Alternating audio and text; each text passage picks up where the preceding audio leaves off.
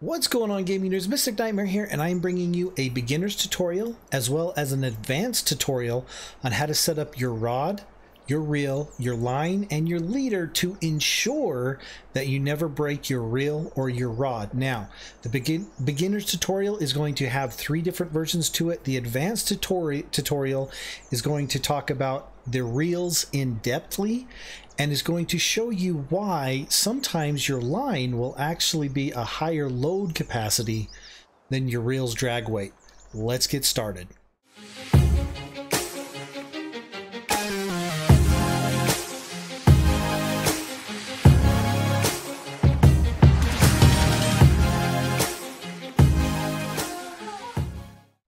Okay, so to start off with, I know some of you guys were expecting a Volkhov video, but when I started doing the video, I ended up realizing that this tutorial needed to be made first to show you guys an advanced tutorial on setting up your rod and reel so you could utilize them at Quarry Lake, which is where we're at now, as well as Volkhov River. And I figured since I'm doing an advanced tutorial, I might as well just do a beginner's tutorial. So let's go ahead and get started. To, fir to, to start off with, let's do the beginner's tutorial.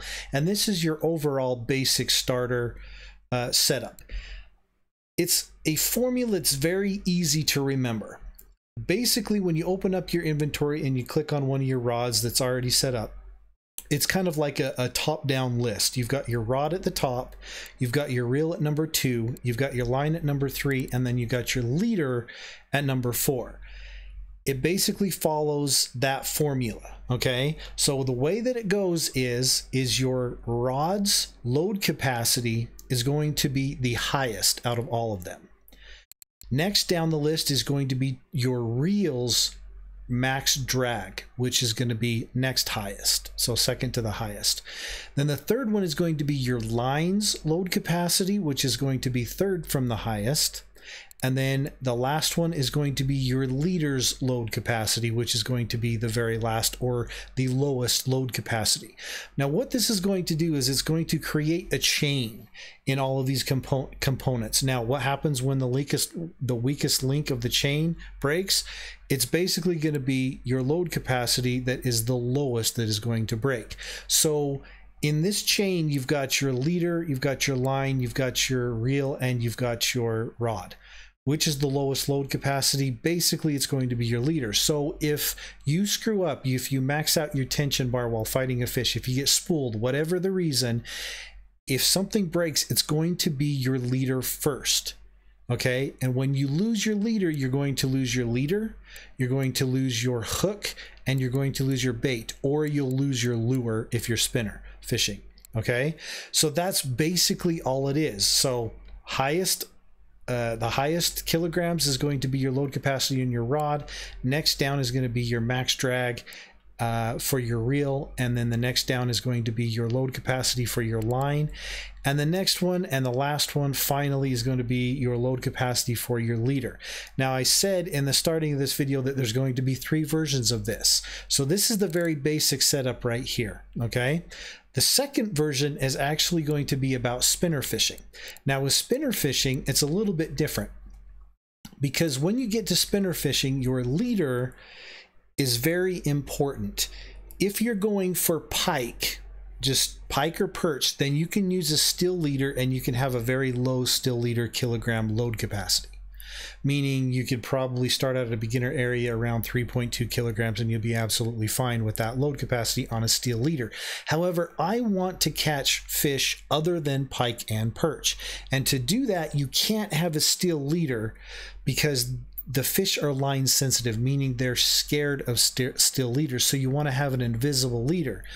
The problem with a fluorocarbon invisible leader, which is one of your best invisible leaders, is that pikes can bite through it like candy. No problem whatsoever. They're going to take your lure and then you're going to be screwed. So, to fix that, we still want to make sure that our leader is invisible, but we also want to make sure that our leader is thick enough or heavy enough to prevent pike from biting through it. So this is the second version in the setup where this is your fluorocarbon leader that is a very thick leader because it's a 6.2 kilograms. I wouldn't go above 6.4 kilograms. Now, this type of a setup, as you can see, I have my uh, load capacity on my rod at 4.4 kilograms. I have my uh, reel at four kilograms, which is below my rod, so everything's the same. And then I have my line at 3.5 kilograms, again, still the same. But now I have my leader at 6.2 kilograms because it's a fluorocarbon leader, and I want to make sure it's thick enough that pike can't bite through it. So in this type of a scenario, your leader is no longer going to be the weakest link in your chain. It's going to be your line. Now, you need to be careful about this because, one, if your line breaks, you're going to lose your leader and you're going to lose your lure. But that's not really the super important part. The super important part is depending on how much line that you have out when that line breaks, you're going to lose some of your length. So if you get completely spooled, you're going to lose a lot of length. So you need to keep an eye on this type of scenario and your spool of line because eventually you might run out of length when it comes down to your line. I've actually done this. I've been completely spooled and I've lost close to 50 to 100 meters on one spool alone. And that spool at that point was completely useless to me. And I ended up just throwing it away. Okay, so your third scenario is a very strange oddball scenario. This scenario is only used for Belaya River, period. Okay.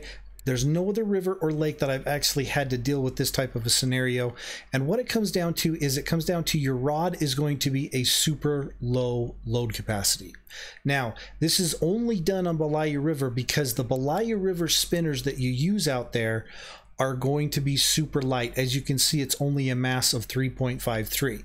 Okay, so that's a super light spinner, and you want to throw that spinner as far as possible. And to do that, you need a very light reel, either an ultra light or a regular light reel, and it has to have a test of between 2 to 10. Okay, so one of the beginner rods, you can either use the old spinning rod, which is, has a test between 2 to 10, and, or you can use the Corona rod, which is a test between 2 to 10. But because you're using such a light rod, it's going to be your weakest load capacity. So in this type of scenario, my reel automatically, the lowest reel is already at three kilograms. Okay, so it's already over the load capacity of my rod. My line is at 3.5 kilograms. It is over the load capacity of my rod and my fluorocarbon leader because I want to make sure that I'm safe against pikes I can either use a 3.2 kilogram a 5.4 kilogram or a 6.2 even a 6.4 kilogram. I highly suggest not going above a 6.4 kilogram because then you're getting a line that's too or a leader that's too thick. Uh, and some of the fish will stop biting because it's too thick of a leader.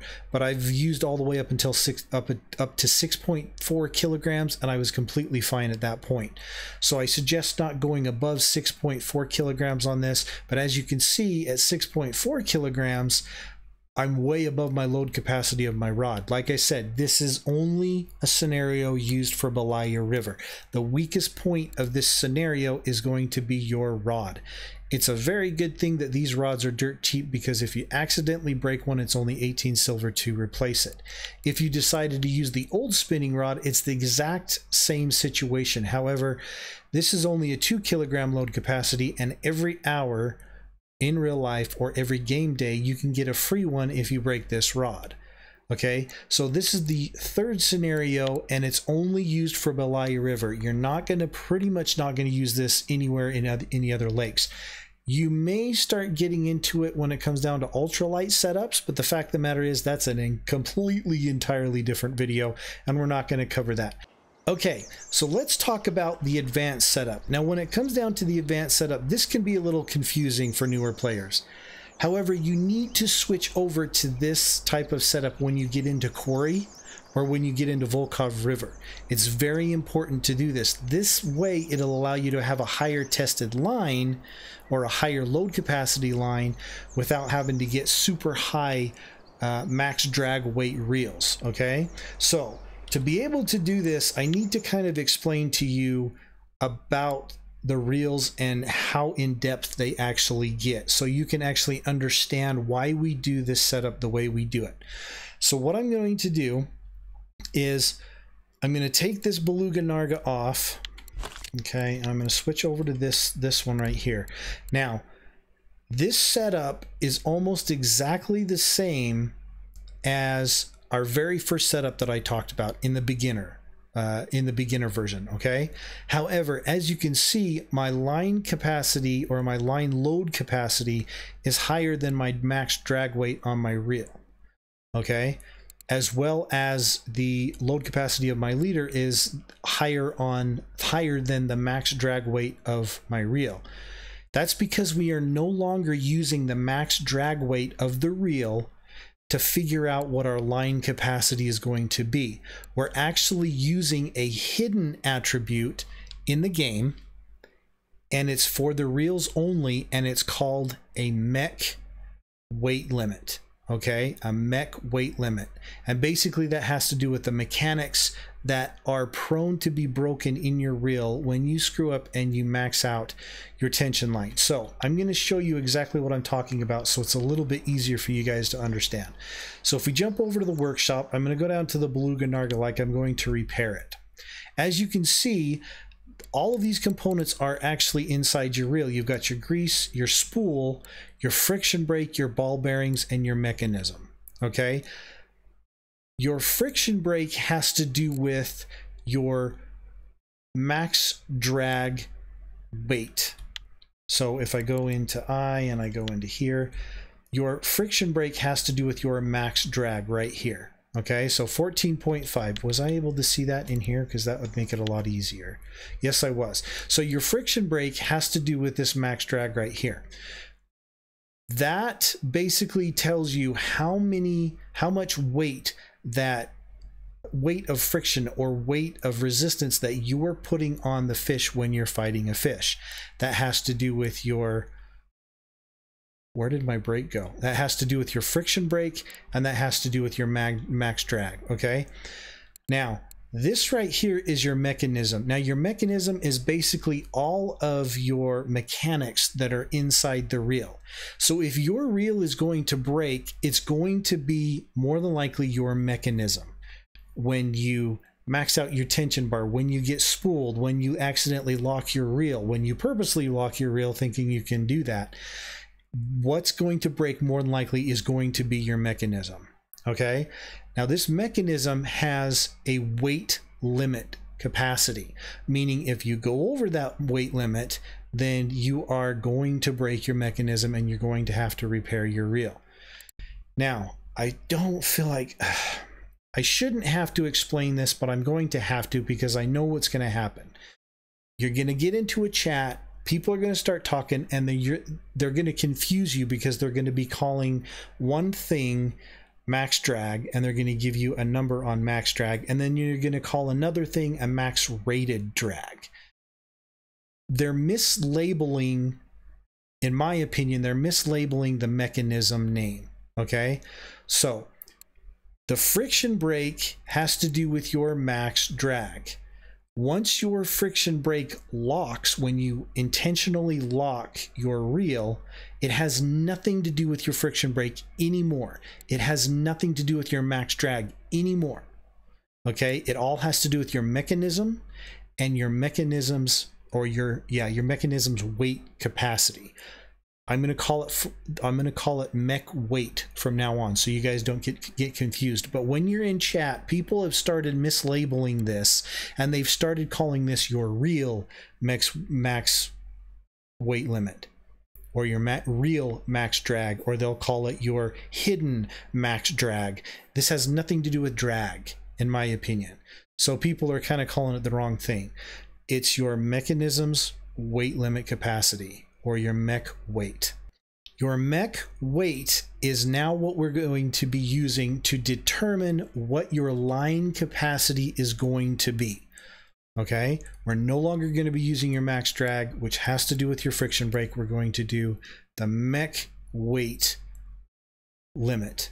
All right, so that being said, let's get to a pretty area we can look out here because you're only going to see it for about a second and then we're going to go into the inventory.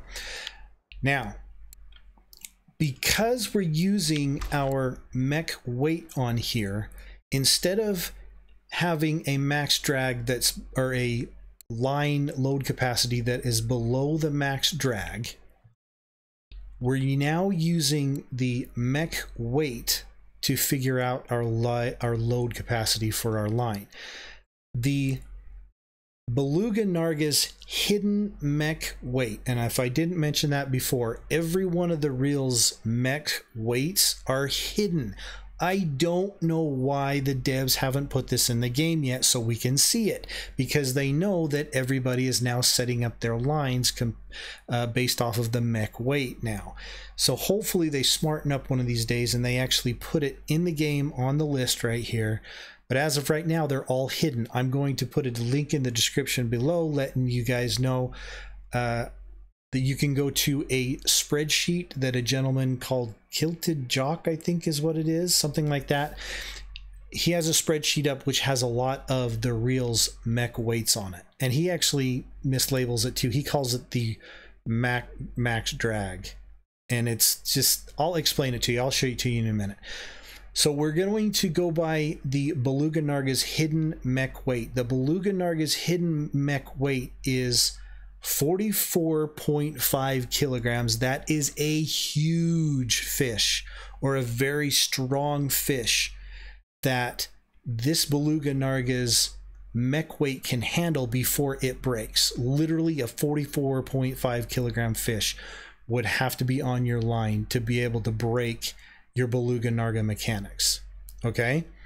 So instead of using their max drag, we're using the mech weight to figure out our load capacity of our line. And since our load capacity on the Beluga Narga is 44.5 kilograms, then we're now up to 28 kilograms load capacity, which is why we're above the max drag of our Beluga Narga.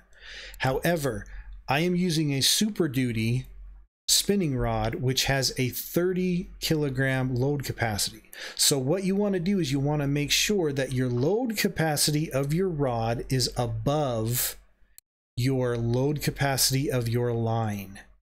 And you want to make sure that your reel's hidden mech weight is above your load capacity of your line. As you can see, our load capacity is 28 kilograms, which is definitely below the Beluga Narga's 44.5 kilogram mech weight, and it is also below the load capacity of the Super Duty rod. If I wanted to, I could get a even higher kilogram rod, like a 40 kilogram rod, a 42 kilogram rod, and I would still be fine because the load capacity of my line can go all the way up to like 42 kilograms because the Beluga Narga's hidden mech weight is 44.5 kilograms. So I can still go even higher with this if I decided to get a higher uh, higher load capacity uh, rod. Okay.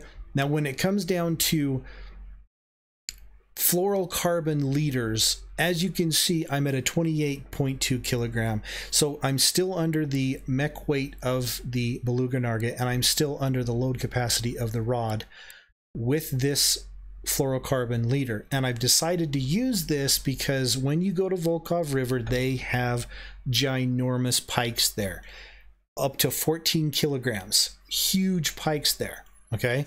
So they can take off, I've, I've seen them take off a 21 kilogram um, fluorocarbon leader before. All right. So that's why I'm use, using such a huge kilogram uh, fluorocarbon leader to ensure that those pikes don't bite those don't bite these expensive lures and and wobblers that I have off of my line and I can still actually catch a really big pike and maybe get a trophy for the pike. But I can also catch all of the other fish there because I have a fluorocarbon leader that's invisible in water. So that's why you'll see a lot of people who utilize like spinner and trolling setups for Quarry Lake as well as for um, for uh, uh, Volkhov in this type of a fashion, their line, their line's load capacity is above their actual max drag of their reel. And that's okay because it's still below the mech weight of your reel. And hopefully I didn't stutter and stumble over myself too much and you guys can understand these type of setups. Because as long as your line and your leader is below the mech weight of your reel and your rod, then you're going to be absolutely fine. And these two will still be your shield or your weakest link in the connection of all of these. So what's going to break first? One of these two will break first. Plain and simple. Now, just a heads up, if you finished watching this advanced tutorial and you're a beginner, do not use this type of setup for a beginner rod. If you do, you will break your reel like it was nothing. And this is why. When I go over to here to the tackle shop and I go into reels, when you first start out as a beginner, these reels, all of these beginner reels all have the exact same mech weight as the drag weight. Okay, so if you've got a three kilogram drag weight here, you've got a three kilogram mech weight. If you've got a 4.4 uh, 4.5 kilogram mech weight here, uh, or I'm sorry, drag weight. If you've got a 4.5 drag weight here, then you've got a 4.5 mech weight. They don't really start going higher in their mech weight until you start getting up into the Sputniks and stuff like that. So with the Adriatica, I believe that one is at 11 kilograms mech weight. So as you can see, mech weight max on this one is 7.5 and the max on it uh, for the I'm sorry, the drag weight on this is 7.5. The mech weight on it is 11. It's the same with the Element Pro. I believe the Element Pro's mech weight is 11 as well. So these first starter reels, don't use this advanced technique on these because you'll bust your reels. Okay? If you learned something or enjoyed the video, hit the like button, finger my bell, get notified when I put out a new video. Take care. Have a good one. Keep gaming. Keep doing it night. Have a blast. We'll see you guys in the next episode. Bye bye.